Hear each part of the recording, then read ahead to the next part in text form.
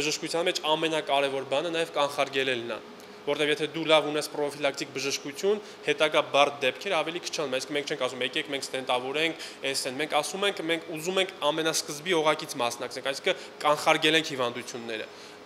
եւ դրա նպատակով կենտրոնը իրականացնում է հատուկ ակցիա, որտեղ հիվանդների բոլոր սրտաբանական հետազոտությունները, այսինքն էլեկտրասրտագրություն, էխոսրտագրություն, սրտաբանի խորհրդատվություն լրիվ անվճար է, ոչ թե ինչ-որ զեղ, այլ լրիվ բացարձակ անվճար է, որից հետո եթե հիվանդները